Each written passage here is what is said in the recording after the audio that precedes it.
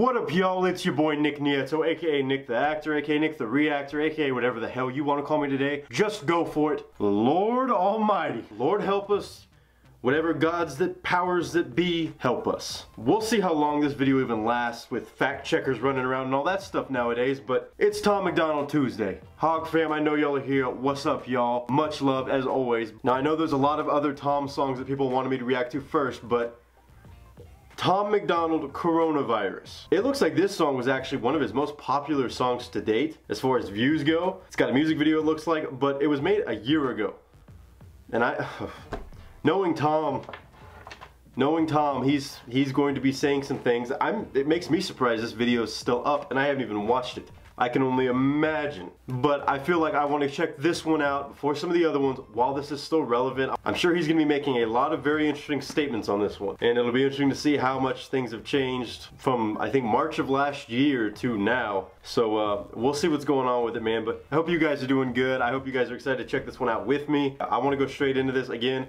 I might have to start using words like allegedly and all this goofiness. Um, I might share some thoughts on different things. I have no idea what it's really going to be about. But but as always, if you're going to get offended or butthurt about something I might say or go up in arms about it, then just click off the channel, save yourself the time. No big deal. I just want to I want to see what he's speaking. I'm sure it's speaking some truth. And uh, let's get our little Tuesday dose of Mr. Tom MacDonald. As always, I appreciate you guys taking the time to watch this one with me. I see him with the mask on already. Tom MacDonald coronavirus.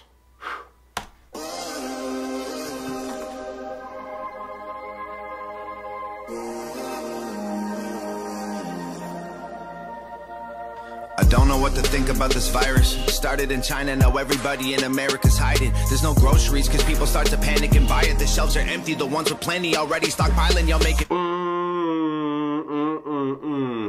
Yep, that's how it was at that point, March or whenever it was last year, very beginning.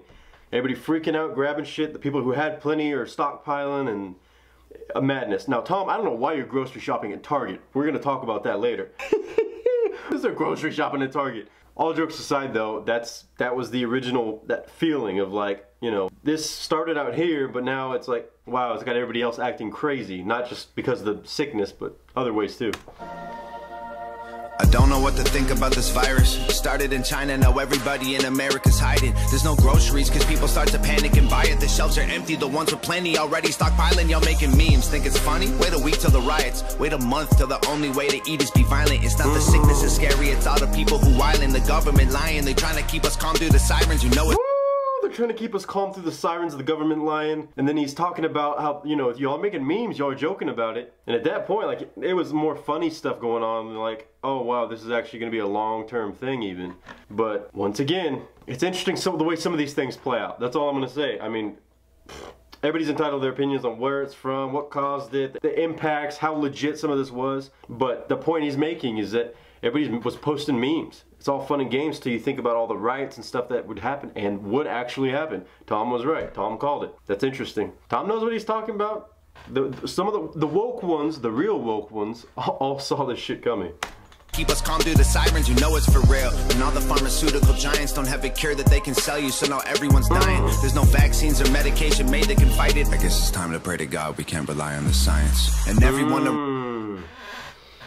It's time to pray to God we can't rely on the science. Damn, that's a powerful line. That's a powerful line. But yeah, that's that's some shit. I mean, they don't care if you're dying just because they don't have it. But I, I, love that line. Wow, that's a good one. Lie on the science. And everyone around me in a mask and some gloves. The stock market crashed and the bank's about to bust. Tell mm. us sanitize our hands. This will pass. It's a bug. Stay inside. You'll be fine till we're trapped there for months. It's a go.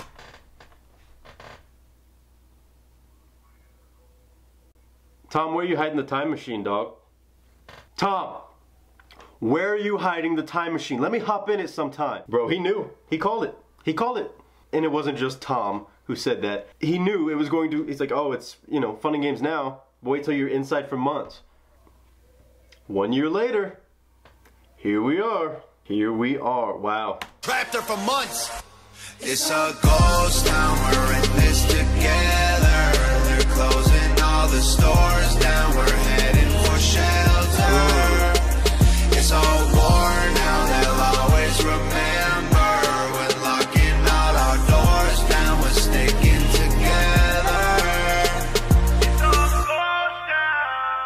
This a.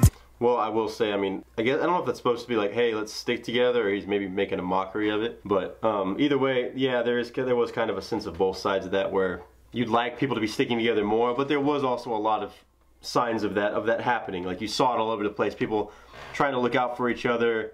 Everybody wants the best kind of for the mass population, even if it's maybe more so greedy than an outward kind of act of kindness to do all these things, but I could see both sides to it. He could be doing both. He could be playing with both options right there in the song, but um, interesting, interesting. Let's hear more.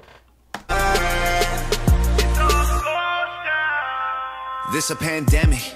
But we don't listen to the news because they lied to us for years, so how we know that this the truth? And most of us are young enough to think that we're immune, so we just pass it on to people who won't survive it like you. It's either he's he's he's he's hitting these different sides again. He's doing the whole oh this side or this side and trying to make you like have that knee jerk reaction of like well oh now he's talking about some shit I don't believe in. Now I'm mad. He's trying to find that in you. Like even that right there like knowing what we know now, we can obviously disagree with some of the statements of the science of who spreads it and what and all that stuff. He didn't really say anything I don't think that was outlandishly wrong. But he, he's playing with all sides of this argument and just the whole frenzy around it because that's what it was. It was a frenzy. So he's going to keep throwing out these different comments that might make you go, um, wait a second, um, wait. Like he does that on purpose. He's very smart about doing that. But that comment about the news, that comment about the news is, so true. That's so true. It's like, why would we turn to the news when we know that they've just been lying to everybody for a long time now? They're like, you can't even trust the news. What else are you gonna do? Like, what you can't? We're not gonna watch that now. Like that's where I'm supposed to go for information? A lot of people have a hard time with that. They've lost so much credibility that I don't think they can ever come back from it. I don't know. I mean, some people still fall for it, but you know what I mean to the news because they lied to us for years so how we know that this the truth? And most of us are young enough to think that we're immune so we just pass it on to people who won't survive it like you. It's either worse than they're telling us or it's nothing at all. But the school shut down a ghost town in the mall. They go quarantine the city block the road out of dodge then tell us leaving our homes is actually breaking the law. This is just the beginning you know it's gotta get worse. If the doctors get sick the hospitals won't work. The conspiracy theories all sound like facts that's for sure. But the fact is we're trapped on this planet called earth. And the bleach gone the bread gone the water's sold out. The meat gone, the milk gone, the pasta sold out. Don't leave anything for anyone. You hoard it for yourself. You'd rather tell them go to hell than be a man and go and help. Ah, so I think he might be doing that little bit of duality, like I was guessing, where he's kind of, oh yeah, we're all sticking together, but there's still some that are not doing that, that he's kind of having that sarcasm towards. But that's a good point. Even like he's like saying, you know, the conspiracies, ah, they sound like they might be true, but put that aside for a second. Like at that point, the current situation of like, hey, you know, this physical thing, these this this food, water, these actual things, no matter what caused it, here's where we are right now. You can't ignore that. You can go off and do you know, say it was this or say it wasn't this or you know, bicker and bicker about what led to it, why it could have been stopped. Look, point blank at that time it was, hey, the actual concrete things that you can actually gauge where everybody's, you know, surviving by, food, water stuff, like that's kind of the one that everybody should have been focusing on, or not even focusing on, but should acknowledge first. That should be the first thing that's like, hey, this, this thing, um, hello. but I really liked it. I wasn't expecting this angle from him on this, but I mean, at the time, it was probably, it was really needed to hear. He's pointing out the stuff that people really, or at least a lot of people, were not really acknowledging or maybe thinking about in that certain angle, I suppose. Tell him go to hell than be a man and go and help. It's a ghost town, we're in this together. They're closing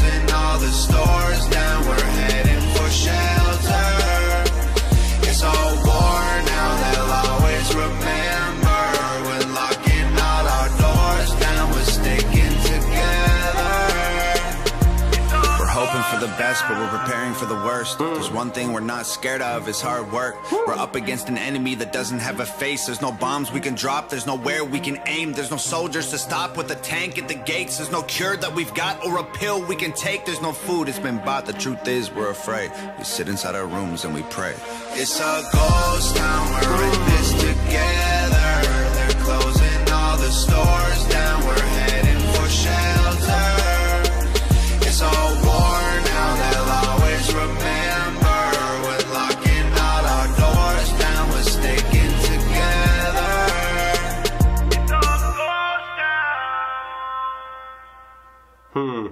All right. Nova. Great job, great job, Nova. and Tom. Um, okay, okay. So I guess he really wasn't taking the angle of saying, hey, everybody's being like, I don't think in the hook he was necessarily trying to bring up the sarcastic point. Maybe I was reaching for that a little bit, I don't know. But he, even though he did bring it up during the verse, I don't think that was the overarching message of the song. But I understand what he was saying, like, do, do your part, be smart. And at that point, it was like, look, everybody, at that point, nobody really knew what was going on. So that sentiment was was needed to be heard more than it realized. People were like, this is, like he said, it was a war. Like we can't we, it doesn't have a face. We can't drop bombs on it. So we've got to stick together and it's got to be like you've got to start treating it with credibility whether or not you you know you can sit there and say it was caused by this. Like again it could have been prevented by this. It could have been stopped by this. This is why it's happening. Point blank is that it was happening and that was what he was trying to point out and again i think a very you know i, I didn't really i mean the song I don't, that was less about the actual musical side on that song at least for me i wasn't like crazy about it but i think it was again one of those ones that's the message was what he was trying to spread. That kind of actual, you know, hey, stop for a second, think about this shit logically. No matter what you're trying to go off on your tangents and try to be the one that's solved it or figured it all out. Look, dude, right now, here's where we're at. Take it serious. He approached that in a very smart way, I thought, in a way that people could all understand and appreciate. And it's also somewhat neutral, I think, in a lot of like the way that it's broken down of like, you don't have to go all the way over here, you don't have to go all the way over here. Let's just all focus on the main thing, which a year later is even funny hearing this stuff and, you know, remembering where it was versus now where we could look back and be like, um, probably some of it was over the top, the way a lot of it was reacted to, um, allegedly, but at the end of the day, you got to work with the information that you have, and that's what he was reminding people. Here's what we know. Deal with this. Stick together, and a beautiful message as always from Tom. Anyway, I hope you guys enjoyed this one. I had a good time just trying to hear what his perspective was at the time and what he was trying to really spread as a message during this whole situation when it was first like strongly developing at that point in March or February, March. So it's cool to see. It's cool to see in a year now how much has changed and he called a lot. He definitely you know saw a lot of it coming. That's why i want to know where that time machine is tom. Just another good show of him being able to say hey let's start a conversation about this. Instead of this and this let's start a conversation about this and this is in a totally different light than race relations and stuff like that. It's it's its own unique thing, and I, am really I really have a lot of respect for him for doing it. Another great one as always, guys. I hope you guys enjoyed the video. I can't wait to see you guys Friday. We know he's dropping something crazy Friday bubble wrapping himself and all kinds of stuff. So we'll see what's going on with that. But I'll plan on being here on Friday for that new song to get a video out for you guys. And we're all gonna see what he's coming with now. As always, guys, I appreciate you guys taking the time to watch this. I hope you're having a good day, good week, good month, good whatever you're having right now. And until next time, ladies and gentlemen, that's a wrap.